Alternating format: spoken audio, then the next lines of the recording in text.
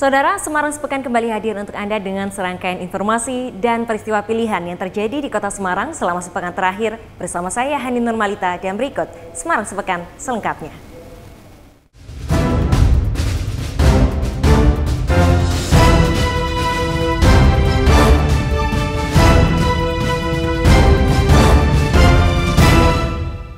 Kita masuk ke informasi yang pertama. Di bulan Ramadan ini, pemerintah kota Semarang melakukan penyaluran bantuan beras melalui penggunaan ATM beras bagi masyarakat. Saat ini ATM beras telah tersedia di Masjid Al-Iman, Kelurahan Mugasari, serta Masjid Al-Huda di Mangkang Kulon dan siap untuk dimanfaatkan warga.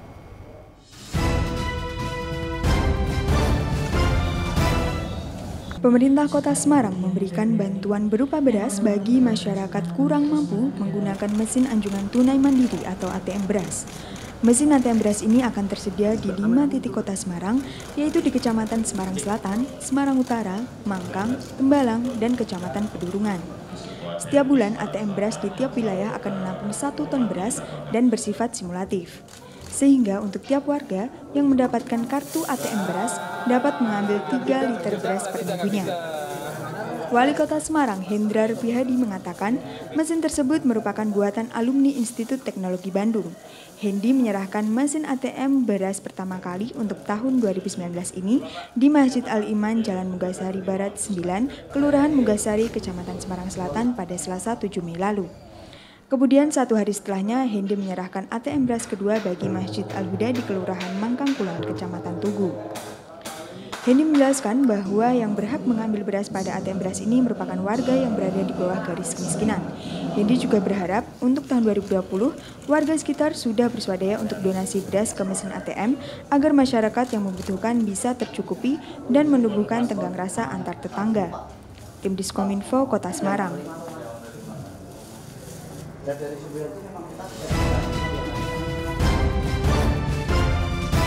Informasi selanjutnya, Wali Kota Semarang menginisiasi sebuah program dalam memakmurkan rumah ibadah melalui kegiatan Jumat Rasik-Resik Masjid atau disingkat Jarik Masjid.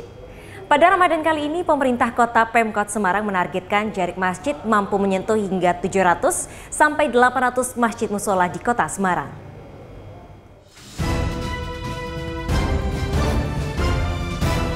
Kegiatan Jarik Masjid atau Jumat Resik-Resik Masjid terus berjalan di hampir seluruh masjid serta musola di kota Semarang pada bulan Ramadan ini. Salah satunya pada hari Jumat 10 Mei lalu, Wali Kota Semarang Hendrar Prihadi bersama jajaran OPD dan sejumlah elemen masyarakat mendatangi Masjid Baitus Salam di Jalan Kentangan Tengah, Jagalan Semarang Tengah untuk melakukan resik-resik atau bersih-bersih.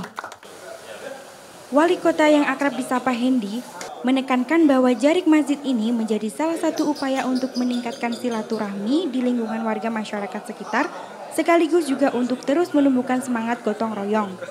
Pada kesempatan tersebut, selain pihak OPD dan elemen masyarakat, pihak swasta seperti perusahaan jasa transportasi online atau Gojek juga turut serta berpartisipasi melalui unit bisnis GoClean dalam membantu proses pembersihan.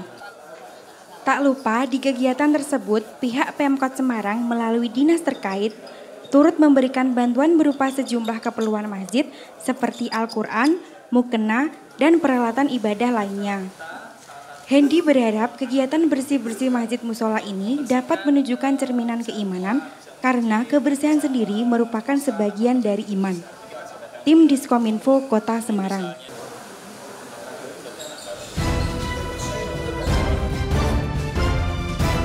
Pembangunan tahap 2 untuk menciptakan pasar johar modern kini telah mencapai sekitar 70 persen. Ditargetkan proyek johar baru akan selesai sebelum bulan Desember mendatang. Salah satu proyek pembangunan multi-years yang dilaksanakan oleh pemerintah kota Semarang, yaitu pembangunan fisik pasar johar baru, menampakkan progres yang selangkah lebih maju. Target pencapaian progres 60% sudah terlampaui, hingga kini mencapai 70% lebih. Pihak kontraktor menyampaikan harapan proyek ini akan selesai sebelum target bulan Desember 2019. Tahap terakhir yaitu untuk pemasangan kelistrikan dan proses finishing diperkirakan akan selesai sekitar bulan Oktober. Inspektor Arsitektur Proyek Pasar Johar Baru Sriwati Purnomo menyampaikan bahwa fokus utama pada pembangunan ini adalah untuk mengembalikan elevasi tanah Pasar Johar dan memodernkannya. Pekerjaan restorasi ini juga melibatkan tim cagar budaya agar pembangunan dilakukan tanpa meninggalkan nilai-nilai heritage-nya. Sriwati juga menyampaikan bahwa pasar Johor tidak dikerjakan secara setengah-setengah. Bahan bangunan dengan kualitas bagus sengaja dipilih untuk menjaga bangunan agar kokoh berdiri. Bahan kayu jati untuk pagar dan cat anti lembab digunakan agar dapat bertahan bertahun-tahun. Secara mekanis dan kelistrikan pun diatur untuk mencegah kebakaran agar tidak kembali terjadi. Beberapa fasilitas pelengkap juga ditambahkan seperti adanya rumah genset, rumah pompa, kolam retensi, toilet bagi difabel, dan musola. Beberapa titik drainase yang juga tersambung dengan alun-alun diperlancar agar banjir dapat teratasi. Tim Diskominfo Kota Semarang.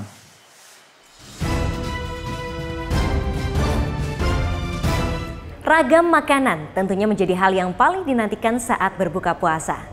Nah, salah satu masjid di kota Semarang menyajikan hidangan takjil yang unik dan langka karena hanya bisa didapatkan selama bulan Ramadan saja. Ini dia bubur India ala kota lumpia.